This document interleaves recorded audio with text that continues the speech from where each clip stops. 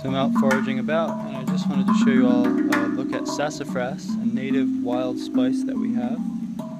So you can see there's a mitten shaped leaf and there's a three prong leaf. Right, here's the mitten. And then there's a regularly shaped leaf.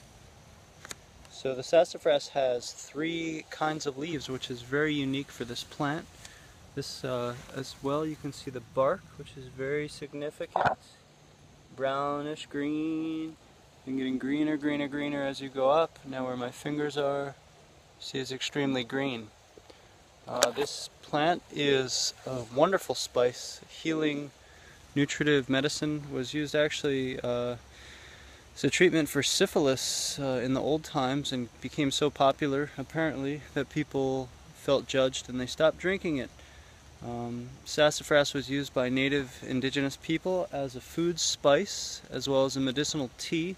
Uh, the leaves are filé powder, which actually in uh, the south, in Louisiana, etc., is used in gumbo as a soup thickener, so that was probably very common of native people of North America. The twigs are a great chew stick, antiseptic for the gums, etc. And uh, the roots, of course, are a root beer, but you'd kill the plant if you harvested it. So be very mindful when you're harvesting sassafras roots that you're being regenerative and sustainable. Sassafras is a wonderful healing plant that is in our ecosystem and only exist as a result of people caring to preserve forest. So, sassafras, a wonderful medicinal, relatively easy to find.